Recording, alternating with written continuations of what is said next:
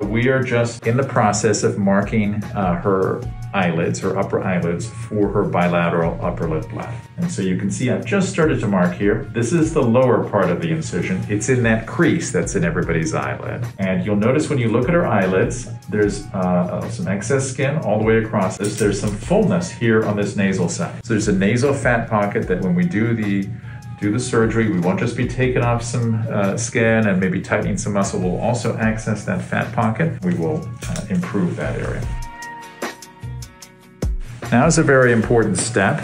We take a little pickup, right? And then we, we sort of make a determination as to how much skin to remove. So we typically do a little pinching and we look how much skin we can remove just until the eyelashes on the upper eyelids start to kind of curl up a bit. So now I have a judgment of that. And then we make the line for the upper incision. Ultimately connect it, the lower incision on the upper eyelid. Okay, so that gives you a sense there as to what kind of skin we're going to remove. All right, and now we're going to repeat the same thing from the, from the beginning with the other eyelid.